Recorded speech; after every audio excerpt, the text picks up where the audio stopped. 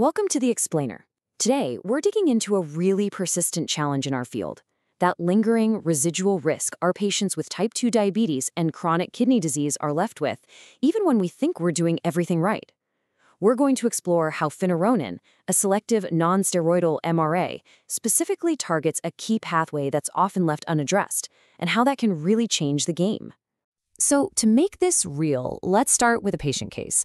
I'm willing to bet this will feel very familiar to you. Let's meet Raj.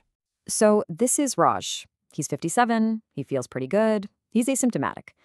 And honestly, if you just take a quick glance at his clinical profile, he looks stable, maybe even well managed. He's had type 2 diabetes for about 10 years.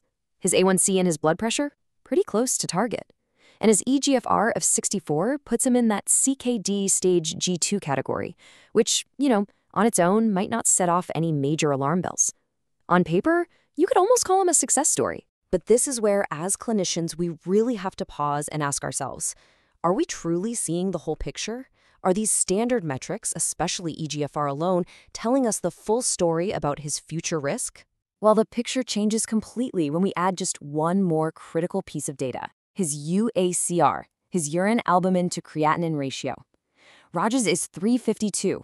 So now, when we plot him on the KDIGO risk map, his EGFR puts him in that G2 row, but his severe albuminuria catapults him all the way over to the far right column, he goes from looking like a low-risk patient to being in the highest risk category for progression. This right here, this is that hidden risk that can be so easy to miss. So that dramatic shift forces us to ask a really important question. If his hemodynamics, his blood pressure, his glucose are relatively under control, what are the non-hemodynamic factors that are really driving this level of damage? And this really highlights a key gap in our standard playbook you know, our go-to therapies, RAS inhibitors and SGLT2 inhibitors, they're fantastic at targeting the hemodynamic and metabolic pathways, but they don't fully shut down the underlying inflammation and fibrosis that's causing his albuminuria. That damage is largely driven by mineralocorticoid receptor, or MR, overactivation. And that pathway? It just keeps humming along in the background. And this is exactly where finerenone's unique design becomes so clinically relevant.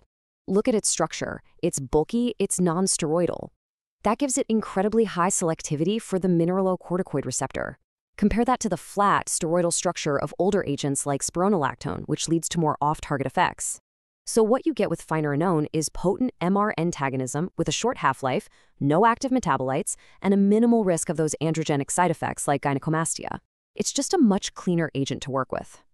Okay, so that's the pharmacology. But how does this targeted mechanism actually translate to clinical outcomes for patients? let's take a look at the pivotal trial evidence. Now, the evidence base here is really substantial. We're not talking about a small study.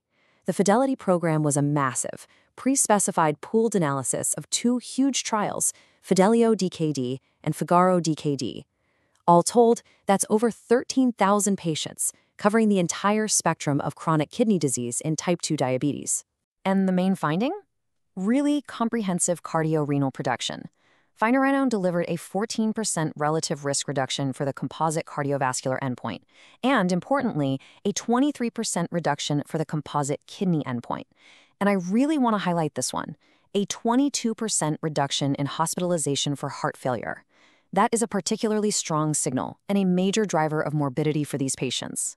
This is great, but it brings us to a really critical question for modern practice how does finerenone fit in with the other pillars of care we're already using, specifically SGLT2 inhibitors? Well, the confidence trial was designed to answer exactly that question.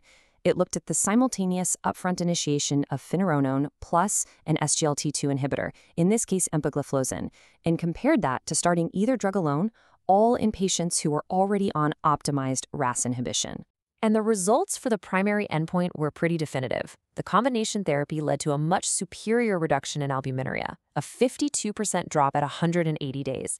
That's a significantly greater effect than adding either agent on its own, which really suggests these drugs have complementary mechanisms of action. Now, here's the crucial part. This superior efficacy did not come with a safety trade-off. The safety profile of the combination was comparable to monotherapy. And look at that discontinuation rate for hyperkalemia, less than 1%. That gives us the reassurance we need to feel confident about adopting this earlier, more comprehensive treatment strategy.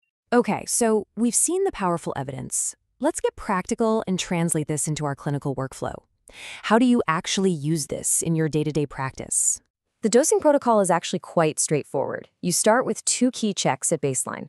First, the EGFR has to be 25 or higher, and second, the serum potassium has to be 5.0 or less. If those are met, the starting dose is based on EGFR. For patients with an EGFR of 60 or more, you can go straight to the 20 milligram target dose. For those with more advanced CKD, between 25 and 59, you'll start at 10 milligrams. The key follow-up is four weeks later. You recheck labs, and if their potassium is stable at 4.8 or less, you uptitrate that 10 milligram group to the full 20 milligram dose. We want to get them to that target dose to ensure they're getting that maximal cardiorenal benefit we saw in the trials. Now let's talk about hyperkalemia, because it's obviously the main thing we think about.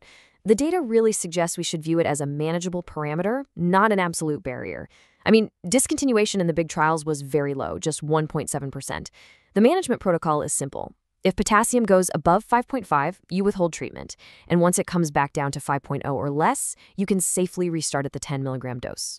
So, to make this super easy to remember in a busy clinic, you can just use the five fives framework. You initiate when potassium is less than or equal to 5, you withhold if it rises above 5.5, and then remember the outcomes. It reduces the risk of both heart failure hospitalization and end stage kidney disease by more than one fifth. Those are really the critical numbers for safe and effective use. So, when you put all this together, the evidence from Fidelity and confidence, it leaves us with a really provocative and essential question.